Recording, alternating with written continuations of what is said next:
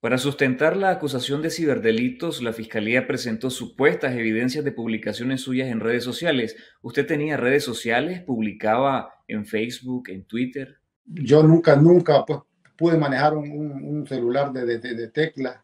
Yo lo que manejaba por un, celular de los chiquileritos, que nosotros le decimos los pequeñitos, son de tecla. E incluso pues yo nunca pude guardar un número de, de teléfono porque incluso cuando habían comerciantes que me daban el número de teléfono, yo buscaba pues, a mi hijo que me guardara ese número de teléfono. Pero yo de estos celulares, de, de esta tecnología nueva, yo, yo pues desconozco, pues me entiendes. ¿Nunca tuvo redes sociales?